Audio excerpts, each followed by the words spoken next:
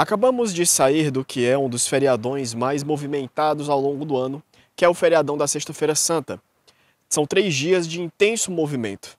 Este feriadão da Sexta-feira Santa foi bastante movimentado em Canindé, principalmente também pelos diversos fenômenos que foram registrados na nossa cidade, tais como intensas chuvas, a sangria do açude São Mateus e também a cheia do rio Canindé.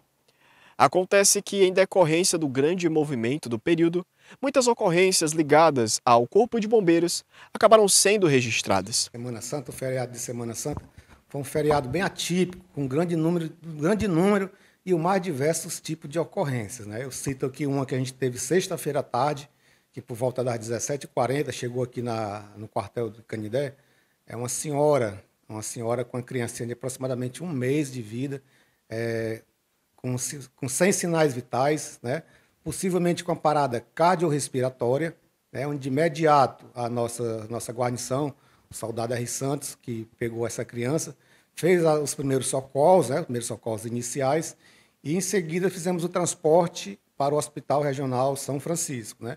Lá, chegando lá, foi feito, dando continuidade ao, ao tratamento, ao procedimento, e a criança foi transferida por precaução, ela foi transferida para Fortaleza, e segundo informações que eu obtive hoje com o pai da criança, que ela está se recuperando muito bem, já está inclusive é, sendo amamentada pela mãe, né?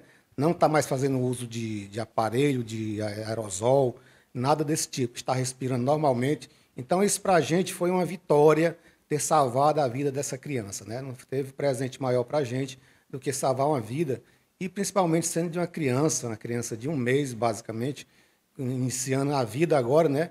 E tivemos a sorte e a honra de poder estarmos no lugar certo, na hora certa e salvarmos essa criança. É, em relação aqui à questão dos açudes, né, tivemos muitas ocorrências relacionadas à questão do tanto no São Mateus como no Riacho São Francisco. Foi, tenho até que relatar alguma situação aqui em relação às pessoas, o comportamento das pessoas, né? Que o inverno é muito bom, nossos mananciais foram todos reabastecidos, né?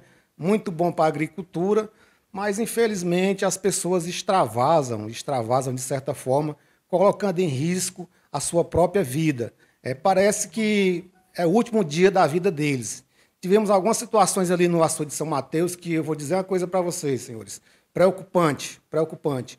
Muitas pessoas com sinais de embriaguez, pulando de cima daquela base que tem lá, né, do sangrador, tem aquela parte concreta, eu não, não, não, conto o número de pessoas que saem de lá lesionadas, com cortes na cabeça, pés cortados, né? e sem falar no risco de afogamento que ocorreu lá. Nossas guarnições retiraram várias pessoas com sintomas de embriaguez dentro daquela água do, do açude de São Mateus. Porque ali, vocês sabem, todos, todos conhecem, tem aquelas cachoeiras após o sangrador.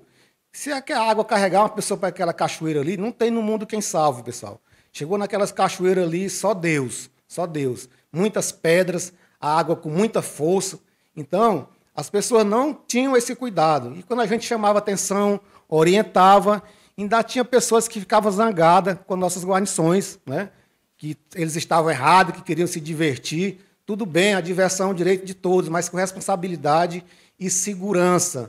E que nós vimos ali foi um verdadeiro festival de, digamos assim, responsabilidade por parte de alguns banhistas, né? colocando suas vidas em risco desnecessariamente. Né? Volto a frisar que as pessoas parecem que estavam vivendo o último dia da vida deles. Né? E no dia de ontem também nós nos deparamos com uma ocorrência ali na aquela passagem do Caique, né? tem uma espécie de passagem molhada ali, onde umas senhoras, duas senhoras foram fazer a travessia, não conseguiram atravessar e foram arrastadas pelas águas. Fomos acionados, nossa guarnição aqui de Canindé foi acionada, e graças a Deus conseguimos retirar essas pessoas com vida, sem ferimentos, e graças a Deus não houve dano maior.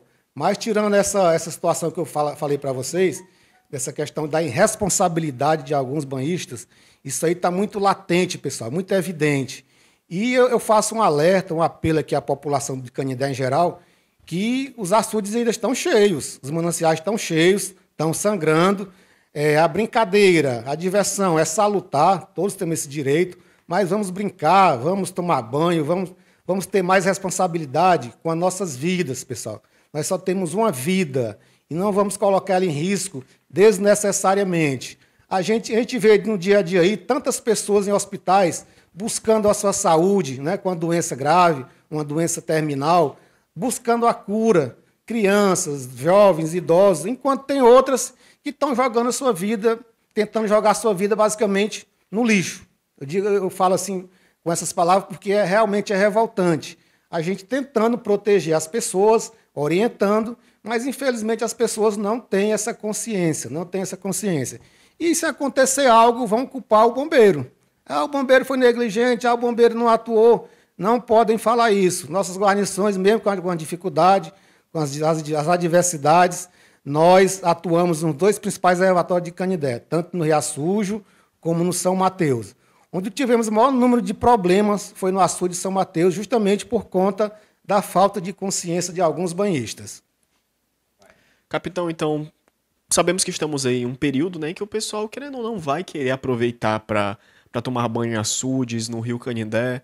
Então, sabendo que as pessoas vão fazer isso, quais orientações o Corpo de Bombeiros tem a repassar para que a diversão não vire uma tragédia? É, a principal orientação que dá para os banhistas é evitem o uso de bebida alcoólica, certo? Bebida alcoólica não combina nem com água, nem com direção. Né? Você a fazer uso da bebida alcoólica, ingerir bebida alcoólica, as suas capacidades de reação ficam totalmente reduzidas. Né? Você adentrar na água, você levar um escorregão no local mais profundo, você pode morrer afogado, pois você não tem mais condição de se desvencilhar daquela situação devido à sua limitação dos seus movimentos por conta da bebida alcoólica. Né? Outro fator interessante, importante também que a gente cita aqui, é a questão de saltos. Né? É, todos os mananciais estão cheios, né? E ninguém sabe que antes deles encherem ali poderia ter uma cerca, poderia ter um toco, poderia ter uma pedra. E as pessoas, naquela ânsia de se divertirem, simplesmente dão aquele salto, né? saltam lá naquele local, podendo se acidentar né? em cima de uma cerca de arame, de um toco, de uma pedra, ou até mesmo vir a óbito, dependendo da, de onde pegar é, a lesão. Né? Já tivemos alguns casos de pessoas que mergulham dão esses saltos em locais que não são apropriados e batem a cabeça, batem em alguma parte do corpo e vão se vão se sentir vão sentir é, sua integridade física vai ser afetada de certa forma, né? É, outro fator interessante também que eu, que eu cito aqui é se forem fazer esses saltos, né? Se forem, a diversão é boa, é interessante, é salutar, mas se forem fazer esse tipo de situação, Antes de, de efetuar esse salto, vocês verifiquem, desçam naquele local, façam uma espécie de uma varredura, se existe toco, pedra ou cerca de arame naquele local, para que você não venha a se acidentar. Né? Mas a principal orientação, pessoal, evitem, evitem a bebida alcoólica. Outro problema que a gente detectou também ali no, no, no São Mateus é de pais, de famílias que levam suas crianças. Levam suas crianças, começam a beber e deixa a criança lá, é, digamos, abandonada, abandonada, correndo o risco de se afogar. Né? Mal sabe essas famílias que elas estão incorrendo em um crime, abandono de incapaz. Né? Então, a levar suas crianças, seus filhos, para uma diversão, principalmente em mananciais, fiquem de atenção, de olho e com atenção redobrada, para o que o pior não possa vir a ocorrer com seus filhos. Né? Esse é um conselho que a gente dá muito interessante, que as pessoas realmente, às vezes, negligenciam. Outra observação importante são os donos de jet ski. Né? Em Canindé aqui, a gente sabe que nessa época do ano aparece alguns jet skis nos mananciais. Né?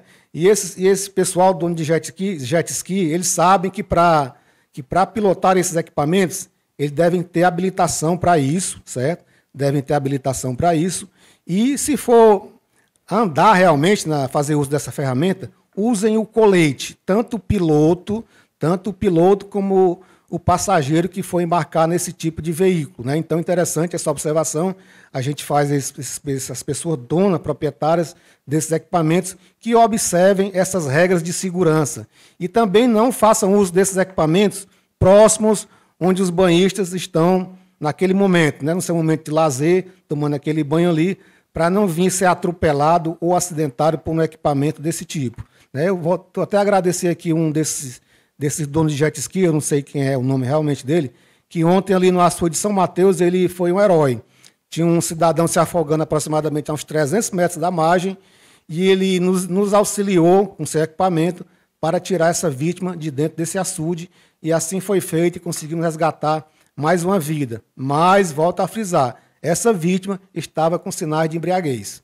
Por pouco, muito pouco, ela não veio a falecer ontem lá dentro do açude de São Mateus. O capitão e comandante do Corpo de Bombeiros, capitão Erasmo, trouxe então para a nossa equipe mais informações a respeito de todas essas ocorrências, que variaram desde afogamentos a pessoas infelizmente embriagadas próximas a mananciais, uso de veículos aquáticos como jet skis também em açudes e até mesmo aí uma criança que teve de ser socorrida e felizmente foi atendida com sucesso pelo Corpo de Bombeiros. Nós reforçamos a você telespectador que você sempre pode pode contar com os profissionais que integram o Corpo de Bombeiros. Eles sempre vão estar prontos para lhe atender, mas também que faça a sua parte para que a diversão deste período não se torne uma tragédia. As imagens são de Naldo Pinheiro, sou João Lucas Alves retornando para os estúdios.